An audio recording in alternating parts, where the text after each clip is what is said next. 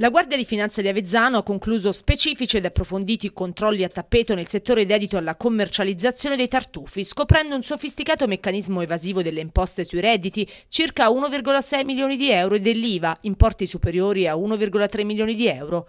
Gli imprenditori che acquistavano tartufi da raccoglitori dilettanti ed occasionali sono tenuti, in base alla normativa fiscale vigenti, ad autofatturarsi gli acquisti. Dunque la fattura, anziché dal raccoglitore, è emessa dall'impresa stessa che acquista i tartufi. I raccoglitori, dal canto loro, hanno l'obbligo di rilasciare una ricevuta contenente le proprie generalità e quelle dell'impresa, riportando nella dichiarazione dei redditi gli importi ricevuto. Nonostante ciò, le società verificate non hanno rivelato i nomi dei cavatori occasionali, motivando questa scelta con l'esigenza di conservare il loro anonimato ed evitare che gli stessi passino alla concorrenza. Non hanno poi esibito alcuna documentazione attestante l'effettiva cessione del pregiatissimo oro nero.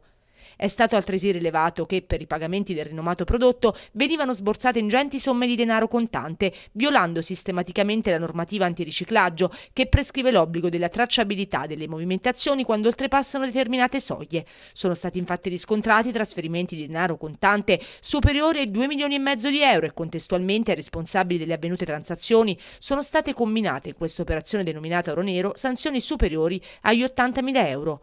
Sono in corso controlli volti ad individuare ulteriori raccoglitori occasionali di tartufi che operano nel comprensorio marzicano, in spregio alle disposizioni legislative che impongono invece tutta la documentazione della cessione del prodotto. Prosegue senza soluzione di continuità dunque l'attività delle fiamme gialle abruzzesi a contrasto dell'evasione fiscale e dell'illegalità economica, a tutela delle imprese, dei professionisti e dei cittadini onesti che superano nella piena e completa osservanza della legge.